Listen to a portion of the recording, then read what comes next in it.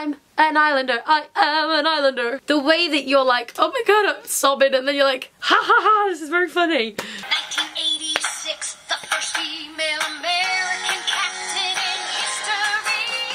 I genuinely think that everyone in the world should see this show. Welcome to the rock if you come from my way. Hey! Hello everybody, how are you? I hope you're very, very well. Today's video is about a musical. What? There is a musical. Well, there's many of musicals. There is a musical that I have said a few times now that it is the best musical I've ever seen. I wholeheartedly stand by that statement. And people are like, what? But you saw Hamilton. What? But you saw Heathers. What? But Mean Girls and The Prom and like all these amazing shows. And yes, those shows are incredible. I love them. But I've never been to a musical that's made me feel the way that Come From Away makes me feel. Honestly, it's amazing. So I've now seen it five times. I saw it in the summer last year in New York and then I've seen it four times in London. I mean, it's been open for about a month so I'm really like racking up those views. Even on my fifth time, I'm moved by it and I'm just blown away by how incredible the show is. The last time I went, I was invited by the team at Official London Theatre. So I'm gonna leave a link down below to their like website so that you can buy tickets. Honestly, I can't rate it highly enough. I mean, it's like a 10 stars out of 5 for me. And here are 20 reasons why you should see Come From Away. Welcome to the rock if you come from away. Hey! The girls in my office also love Come From Away and one of us will just go, welcome to the rock if you come from away and we'll go, hey! and it's my favourite thing ever. If you don't know, I feel like I should tell you first what it is and then I'll give you my 20 reasons why you should see it. It's based on a true story. During 9-11, when the US airspace was closed, all of the planes that were heading over the Atlantic and heading for America weren't able to touch down because obviously the airspace was closed for the first time in history. Gander is a town in Newfoundland, which is an island just off Canada. They have this huge airport there, so all of these planes were shipped over to shipped?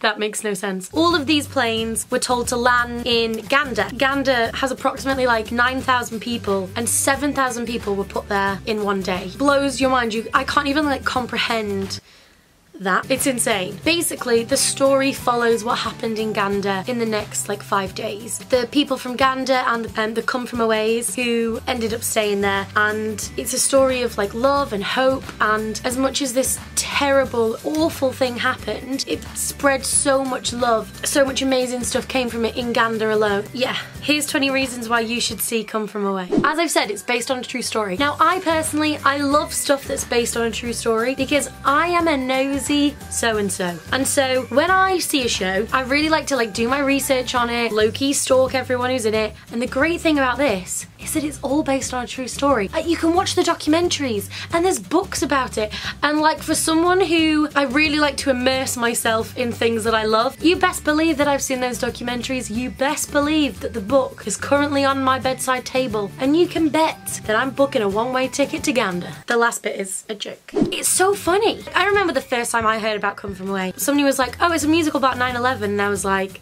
what? I was really not for it. I thought it's going to be maudlin and sad and depressing and unnecessary and I can tell you that it is the complete opposite of all those things and it is so funny. The comedy in it is incredible. There's a character who is a guy from New York. The majority of his like character is all spoken so he doesn't really have like solo lines and stuff that are on the cast recording. So I remember the first time I saw the show, there's some moments where he's talking about some barbecues and genuinely I was like screaming laughing laughing because it took me so much by surprise and it was so funny. I just think it's so unexpected with how funny it is. Oh, it's just hilarious. oh, it's so good. so basically, this character from New York, his whole thing is quite comedy based and he's super duper funny. And then in the song Something's Missing, he tells his story again but from a New Yorker. And I think that his is the one that gets me every time that really like cuts really deep and is so emotive and it's the way that the show is able to switch you, you know, so quickly and, you know, just the depth of his story. One of my favourite characters in the show. I can't say that he's my favourite because honestly I love them all, but he's definitely like favourite parts, you know? There is genuinely something for everyone in this show. I don't know how you could go into this show and not leave loving it. It's just so easy to watch. I've described it a couple of times as like watching a documentary with music. It is, it's just like watching a great story of true life where you truly believe all these people, like yes, they're playing like 10 roles, but you believe that they are all of those 10 people and it's a company of just over 10, I think, and you believe it's a town of now 16,000 people. There's romance in this show. There are a couple called Nick and Diane. It's about their love story while they are in Gander. As a hopeless romantic myself, I love a love story. You know, the fact that they are real people who had this real life love story and then you see it on the stage.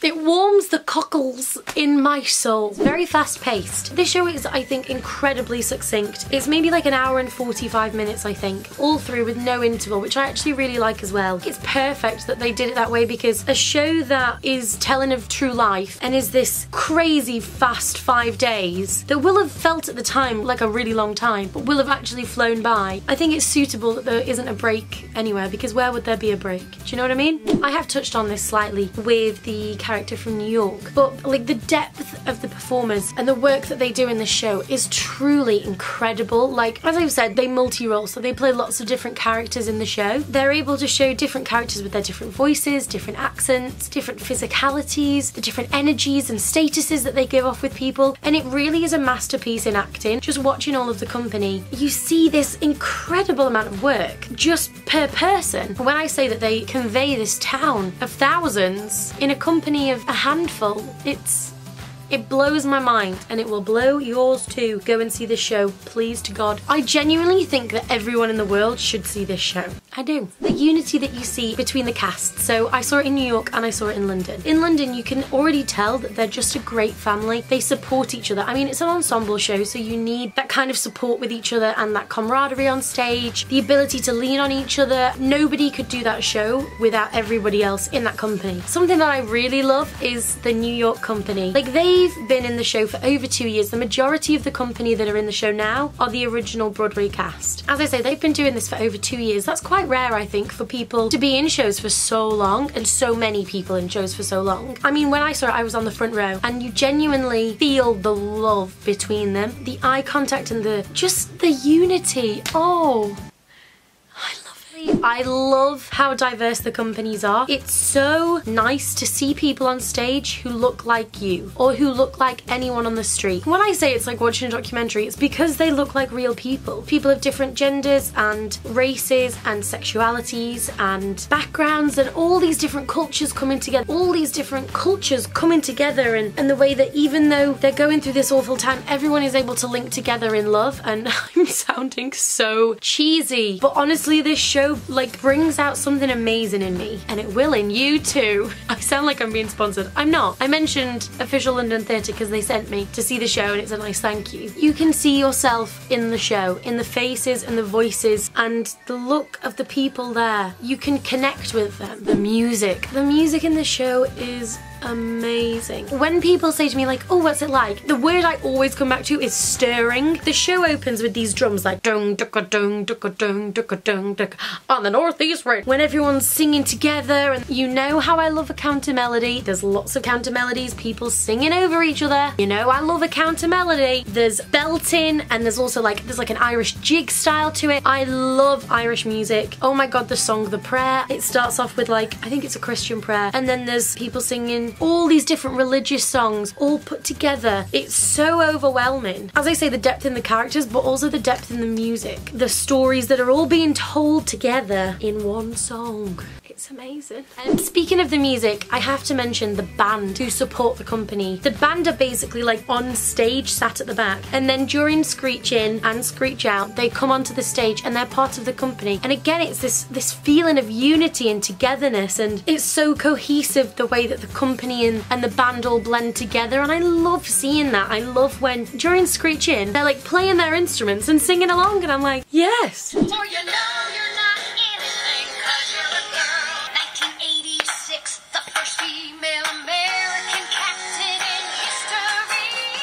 The strong women in this show. I love a strong woman. I mean, what more is there to say? I'm obsessed with the fact Beverly Bass has made history and I'd never heard of her and here she is in this musical. I'm blown away by the fact that this musical has shown all of these true life stories. I love that I now know her story and also she's been played by two of my absolute queens, Rachel Tucker and Jenn Colella. Hello. All the women, I adore the women in Come From Away. I love the men as well, but I have to pay a specific mention to the women. Jenna Boyd in The London Company is incredible. She's so funny. She blows my mind. It's just wonderful to see so many strong women on the stage. The way that it's able to take you on so many different like emotional journeys and so quickly. Oh my god, a prime moment of this is at the end of Something's Missing, this incredibly heavy, it's quite a heavy song. You know, the people going back to their lives after their time in Gander and everyone's sobbing and you're all like,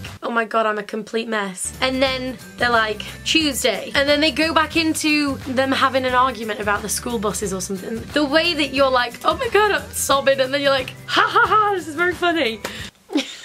I didn't explain that well at all. There are sad moments of the show, but it's not too sad for too long. And there are funny moments, but it's not like taking the mick. It's so good. This kind of links into the last one, but it's the way that it only really lets you applaud two or maybe three times. So I love it in shows when it's written that it like doesn't give you a chance to applaud because then when you do get to it feels so much more fulfilling for the audience and for the company when this big release of applause is kind of let out. At the end of Me and the Sky, she goes, Me and the hello John. And going into this next scene, you don't get to applaud this incredible song that's just happened, but then when you are allowed to, it's so amazing. And I think it's it's great theatrical writing when they don't let you do that because you're allowed to clap at the end of Screech In. They do a big.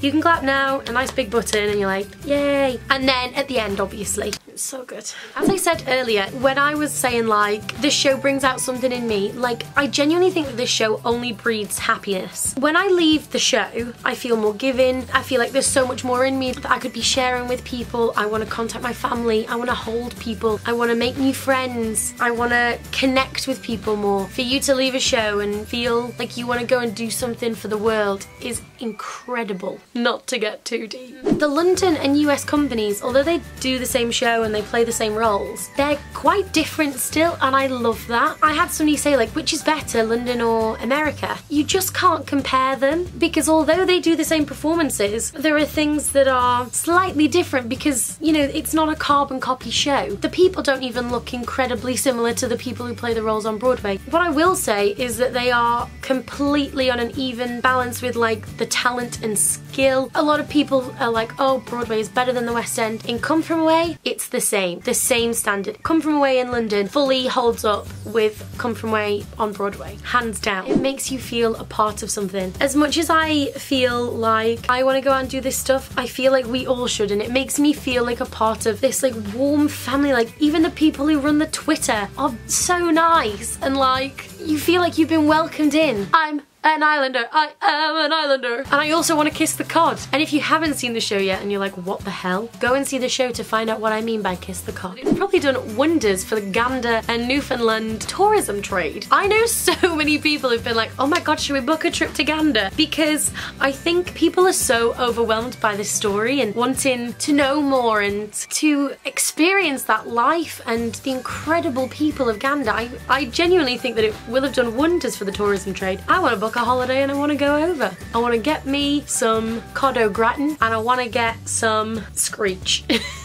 I'm such a loser. It's perfection. Like genuinely, I could I couldn't fault any part of it. The way that it has made me feel when I'm watching it. I've never been so physically moved by a show before. There are moments in the show where my whole body is like, I'm feeling so many emotions right now and like I'm like tingling and I have all of these feelings. so traumatic. It's just so overwhelming the way that it makes you feel like your stomach hurts from laughing so much and then your face hurts from crying so much. The first time I saw it in London, um, so this would be my second time I've seen it, I cried a lot in the show. I'm not a huge crier when it comes to musicals either. You know some people cry at like everything and I'm just not that way. So the fact that I cried is like quite a big deal. I went with my housemates and they sat in a different area to me. So then we met outside on the street afterwards and we were all talking and I just started sobbing again went and I genuinely was like, I can't, I can't cope with all my feelings. And it's not like a crying out of like a sadness. It's out of just too many feelings. It's like I can't deal with them because I feel so much love and so much happiness from the show. And then also this sadness and it's this incredible blend. And honestly, if you don't go and see the show, you are crazy. It's seriously incredible and you should go and see it. And that's my video. Thank you so, so much for watching this video and I will see you again soon. Bye.